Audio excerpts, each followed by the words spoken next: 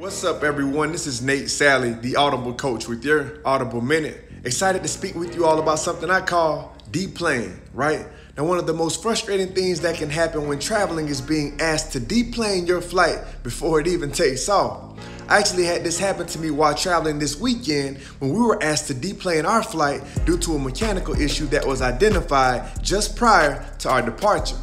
As one could imagine, this news was met with a broad range of responses and emotions, which then led me to think how often do we need to take a moment to deplane in our lives? How often do we need to step away from our original plan to reassess where we currently are and ensure that we are equipped to soar to new heights in the days, months, and the years to come?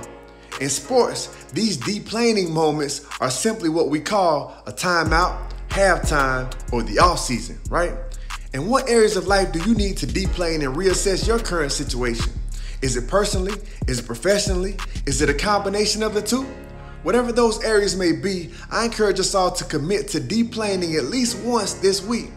Much like a pilot, this process isn't one that we typically desire, but it is one that allows us to arrive safely at our destination.